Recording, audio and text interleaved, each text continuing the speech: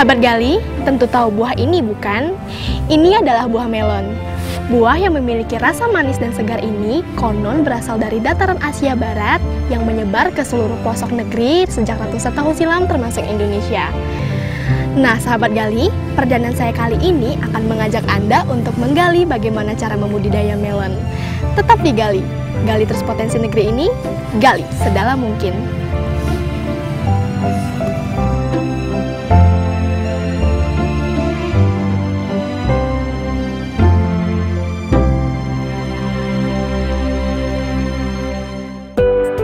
Sahabat Gali, melon merupakan buah yang sangat populer hampir di seluruh dunia. Tak hanya di Indonesia, bahkan di daratan Eropa, melon sudah dikenal sejak awal tahun Masehi. Buah yang dapat tumbuh pada iklim subtropis maupun tropis ini mengalami perkembangan yang cukup pesat. Saat ini, jenis melon yang berkembang di berbagai negara semakin banyak ragamnya, baik bentuk buah, warna kulit buah, warna daging buah, maupun aroma dan cita rasanya. Sahabat Gali, melon yang dulu merupakan buah eksklusif dan menjadi makanan orang tertentu, saat ini makin banyak digemari berbagai kalangan masyarakat. Selain itu, buah melon juga banyak mengandung vitamin A, B dan C, protein, kalsium, dan fosfor, serta memiliki kandungan mineral dan daya diuretik yang sangat bermanfaat untuk kesehatan tubuh kita. Nah, sahabat Gali, perjalanan saya kali ini akan menelusuri bagaimana proses budidaya melon.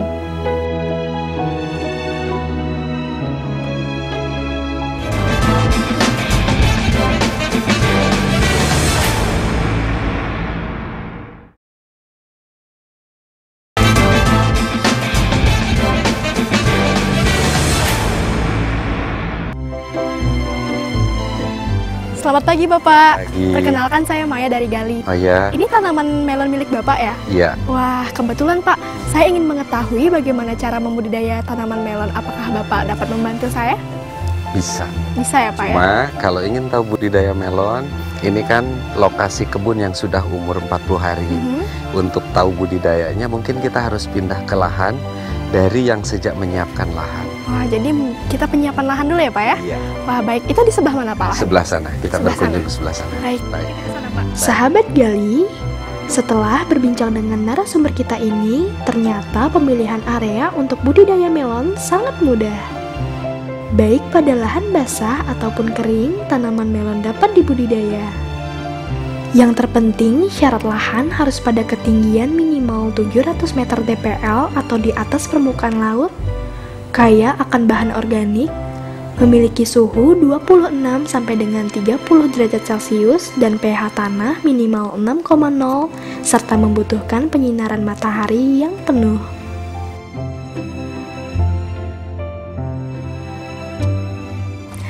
Sahabat Gali, ini adalah areal yang akan digunakan sebagai lahan budidaya melon. Nah, seperti apa prosesnya? Mari kita lihat. Sahabat Gali, setelah lahan ditentukan, kemudian lahan dicangkul hingga gembur, kemudian lahan didiamkan selama beberapa hari agar kandungan gas yang ada di dalam tanah hilang, baru setelah itu lahan kita bentuk bedengan.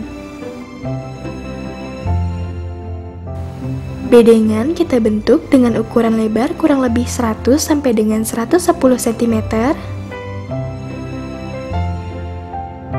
dengan tinggi bedengan 30 sampai dengan 50 cm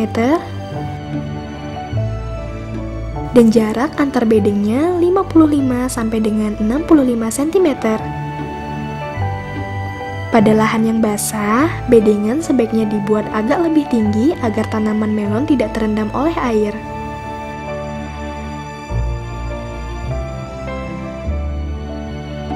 Pada bedengan yang sudah terbentuk, kemudian ditaburi kapur untuk menambah pH tanah, kemudian ditaburi pupuk kandang untuk menambah kesuburan tanah.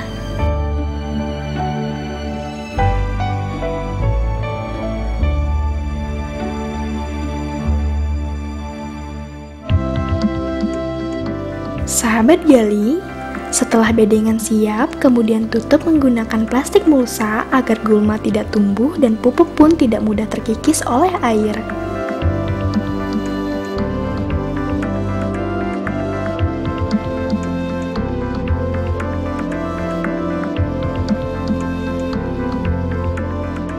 Lahan yang sudah tertutup dengan plastik mulsa kemudian dibuat lubang tanam dengan jarak tiap lubangnya 50 cm.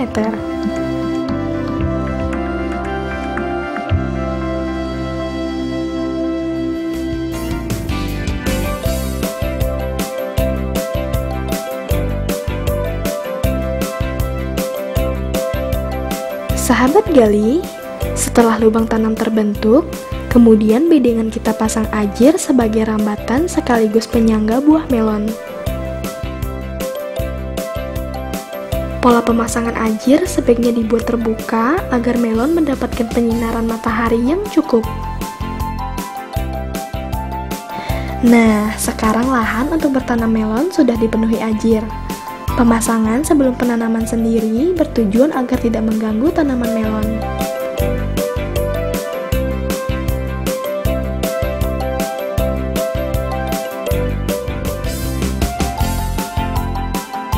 Sahabat gali, untuk mendapatkan bibit, sebaiknya terlebih dahulu kita lakukan proses persemaian. Proses persemaian sendiri dapat dilakukan dengan cara menanamkan benih melon yang telah disiapkan ke dalam polybag yang telah terisi campuran tanah dan pupuk organik. Kemudian, tanamkan benih melon di atasnya.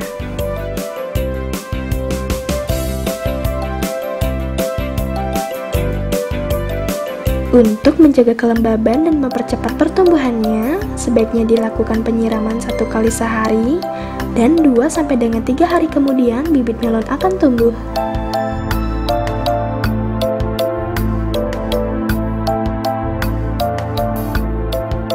Pada saat bibit melon di dalam polybag, sebaiknya dilakukan penyiraman secara rutin sebanyak dua kali sehari.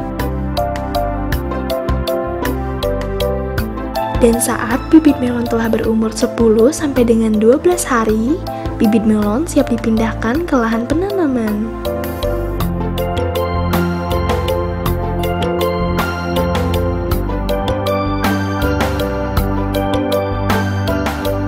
Sahabat gali, proses penanaman bibit melon sendiri sangat mudah. Cukup melepaskan plastik polybag, kemudian tanamkan bibit melon ke lubang tanam yang telah disiapkan.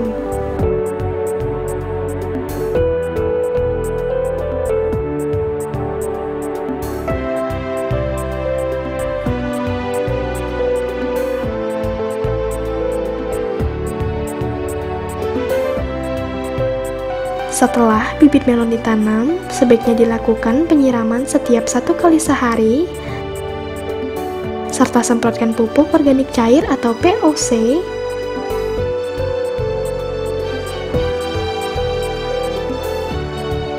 serta lakukan penyemprotan pestisida untuk menghindari penyakit.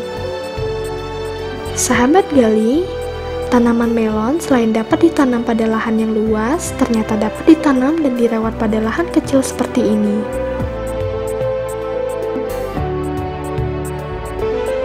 Bahkan jika perawatannya baik, maka melon pada media pot pun mampu menghasilkan kualitas buah yang baik.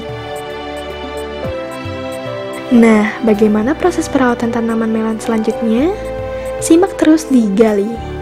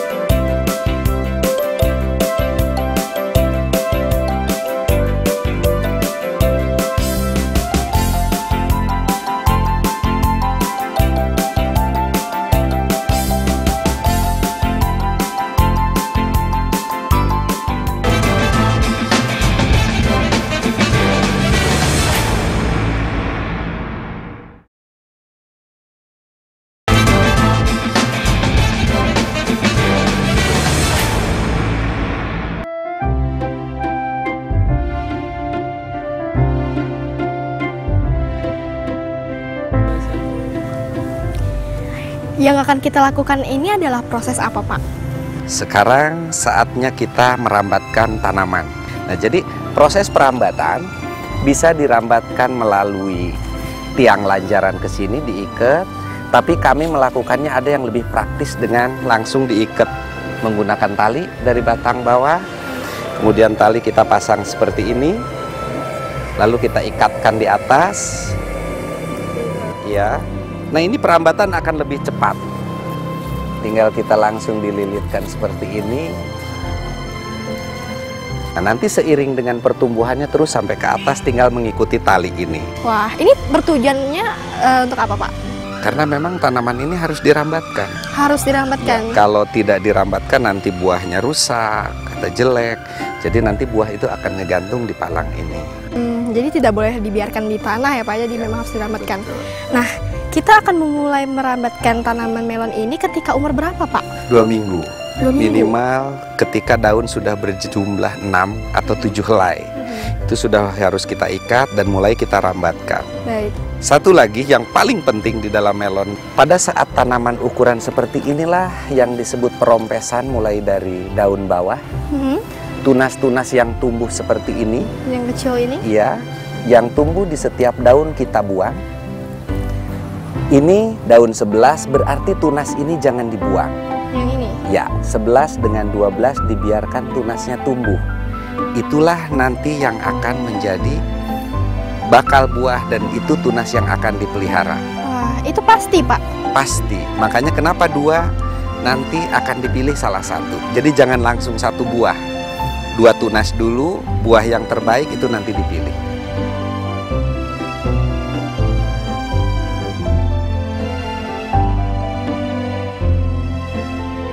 Nah Pak, setelah kita selesai melakukan perambatan, lalu tahapan selanjutnya itu apa Pak? Tahapan selanjutnya adalah memilih buah, menggantung buah, merompes daun bagian atas, dan terakhir adalah topping, menghentikan pertumbuhan vegetatif. Topping. Nah, untuk tahu itu, kita harus lihat lokasi yang lainnya. Baik. Nah, sahabat Gali, setelah ini saya dan Bapak akan mengajak Anda untuk melihat proses selanjutnya. Bagaimana? Pasti Anda penasaran kan? Tetap di Gali. Mari Pak. Mari.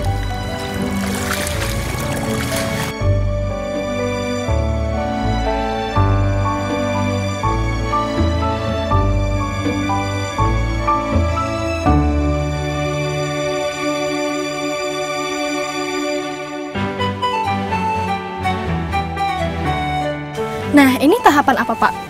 Tahap selanjutnya, ketika tunas itu sudah menghasilkan buah, tunas itu kita buang Hmm, seperti ini. Sehingga tunas buah itu hanya terdiri dari dua helai daun. Dua helai daun. Ya. Kita siapkan setiap pohon itu dua atau tiga butir buah. Tahapan selanjutnya yang paling penting adalah di antara buah dua butir atau tiga butir kita ambil yang terbaik dan itu yang akan dipelihara sampai besar. Cirinya adalah untuk memilih buah kalau ada yang lebih besar pilih yang lebih besar. Mhm, atau dia lebih lonjong mhm, dan mulus. Itu yang kita ambil. Buahnya mulus. Mhm. Dan agak lonjong ya Pak? ya agak lonjong. sehingga yang lain kita buang. Kita buang seperti ini. Sehingga dia satu batang pohon hanya menghasilkan satu butir buah Mhm. setelah ini tinggal kita gantung ke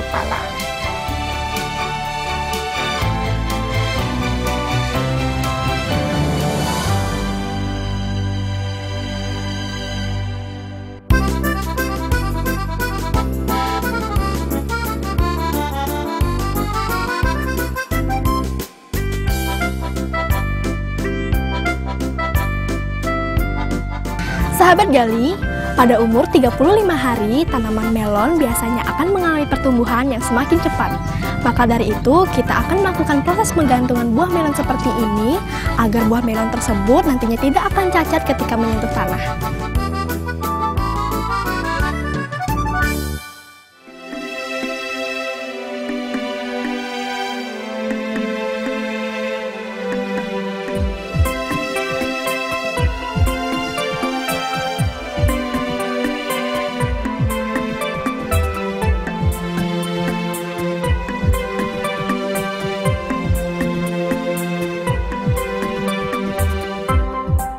Yang paling penting harus kita kontrol adalah tunas-tunas yang masih tumbuh. Tunas. Seperti ini nih Mbak. Aha. Ini kan masih ada tunas. Wah. Tunas ini supaya tidak mengganggu pembesaran buah kita buang. Ini namanya diwiwil atau dirompes seperti ini. Dirompes. Dan nanti ketika daun sudah mencapai 28 lembar, itu ada proses topping, Topping. atau pemotongan tunas atas. Mungkin sekalian kita praktekkan lihat sebelah sana ada. Di sebelah sana ya, Pak? Iya, mari kita jalan ke sebelah sana. Baik, ke sana ya Pak ya.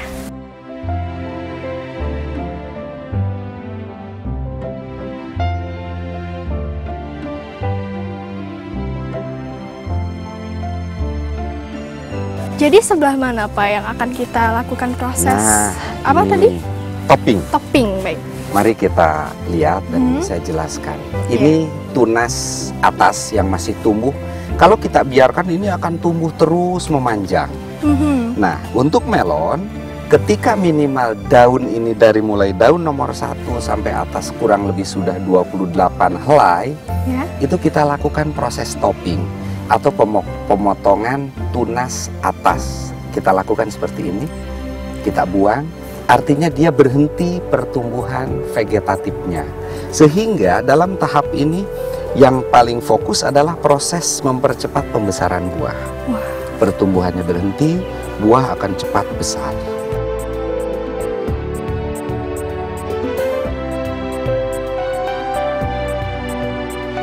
Nah, pemupukan sendiri di dalam eh, dalam perawatan tanaman melon pasti ada ya, Pak ya? Tentu ada. Itu menggunakan pupuk jenis apa, Pak? Nah itu tergantung fase pertumbuhannya. Oh. Seperti sekarang untuk pembesaran buah dan ini sudah diperlukan untuk kemanisan buah. Hmm. Pupuk yang diutamakan yang kandungan fosfat atau fosfor dan kalium. Dan kalium. Itu yang paling utama. Kita harapkan nanti kalau kaliumnya cukup, warnanya akan bagus, rasanya akan manis. Sahabat Gali, pada saat tanaman melon mulai berbuah, perawatan dan pemeliharaan pun harus semakin intensif dilakukan. Untuk pemupukan pada saat melon mulai berbuah, sebaiknya dilakukan satu minggu sekali menggunakan pupuk NPK cair agar pertumbuhannya tetap terjaga.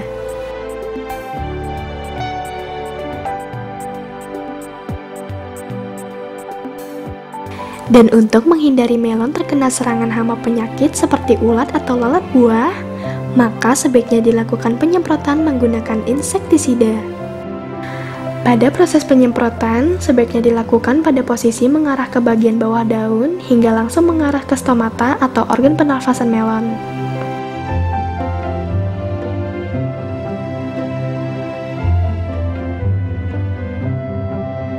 Namun, jika tanaman melon kita terlanjur terkena serangan virus trips, maka sebaiknya langsung kita buang agar tidak menular ke tanaman lain yang masih sehat.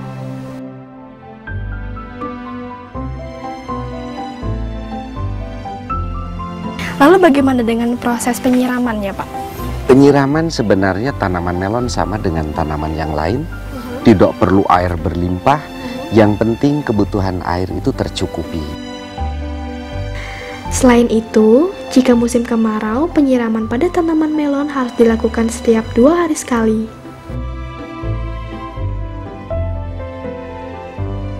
Nah, ini eh, buah melon yang berumur berapa hari, Pak? Ini kurang lebih 50 hari. Ketika umur 50 inilah ada perlakuan lagi. Wah, Jadi semua daun yang ada di bawah tangkai buah itu kita buang seperti ini. Ini tujuannya pembuangan daun di bawah ini mhm. supaya ini cepat matang, semua makanan dari bawah langsung diserap oleh buah. Wah. Seperti inilah kita potong semua daun, Mhm. seminggu kemudian buah udah matang.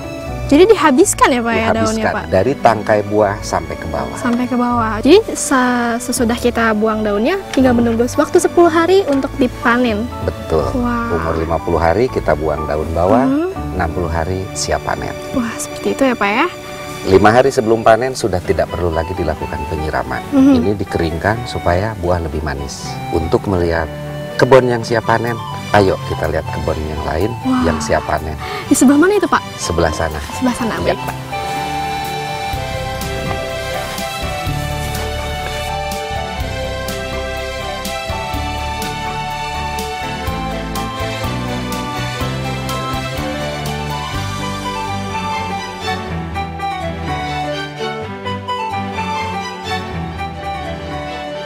Panen itu syaratnya gini. Pertama, pemotongan itu harus letter T.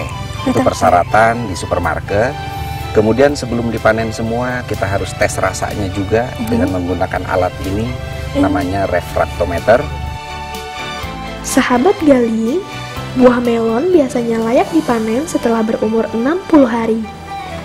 Ciri buah melon yang siap panen di antaranya untuk jenis Apollo seperti ini yaitu memiliki warna kuning yang sudah jelas serta warna daunnya mulai menguning. Coba sahabat Gali perhatikan buah melon yang tergantung ini.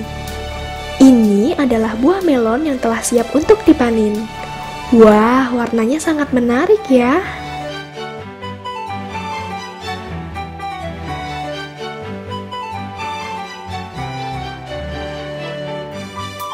Kemudian harus kita lakukan tes tingkat kemanisan buah.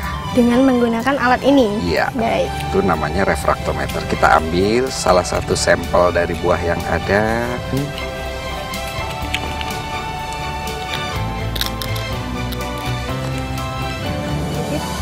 Buka.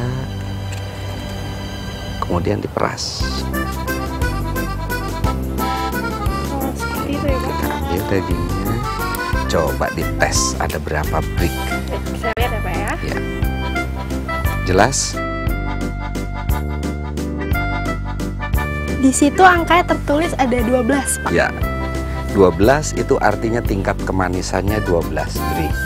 Itu maksudnya bagaimana, Pak? Bahwa tingkat kemanisan melon ini 12 brick, sementara persyaratan di market itu hanya 11.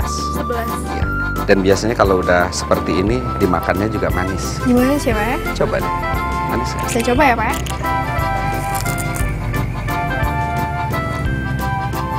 Hmm. Sahabat Gali, jika Anda mencobanya, ternyata alat ini memang benar dan rasa melon ini sangat manis.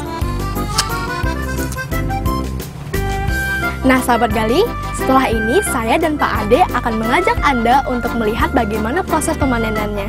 Pasti Anda akan penasaran. Mari Pak, kita langsung saja memanen buah melon ini. Baik, kita panen. Terima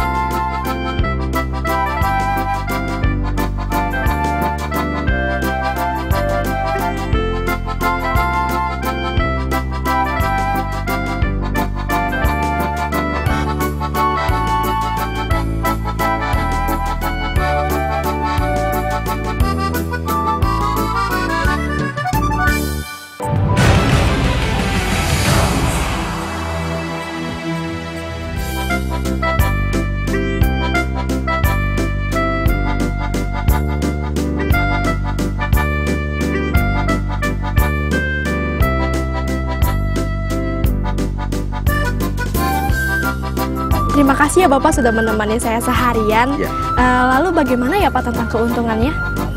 Jadi bicara analisis usaha melon itu pertama bahwa budidaya melon membutuhkan biaya Rp5.000 per pohon.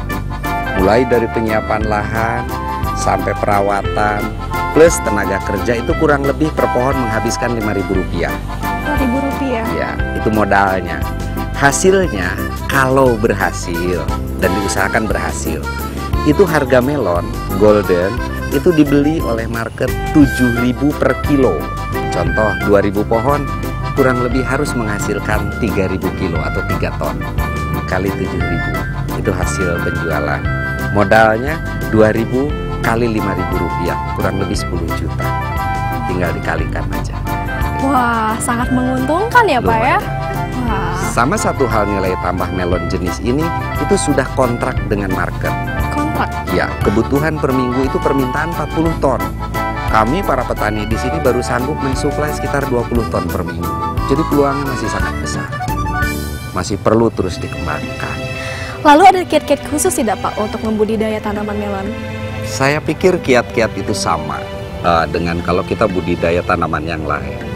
Kuncinya satu, saya selalu bilang dengan teman-teman, saya bilang dekati, kenali, cintai. Insya Allah kita bisa berkomunikasi dengan tanaman dan tanaman akan memberikan hasil yang baik. Itu intinya. Ya. Sebaik-baiknya pupuk, yang terbaik adalah pupuk perhatian untuk tanaman. Itu kiatnya. Baik, jadi intinya mencintai alam ya Pak Iya. ya. Itu. Baik. Bapak terima kasih ya Pak sudah Sama-sama. menemani saya seharian. Ya, Semoga informasi yang Bapak berikan bermanfaat buat saya Amin. dan sahabat Gali di rumah tentunya. makasih. Terima kasih ya Pak ya. Saya pamit Sama-sama. dulu. Terima kasih Pak. Baik.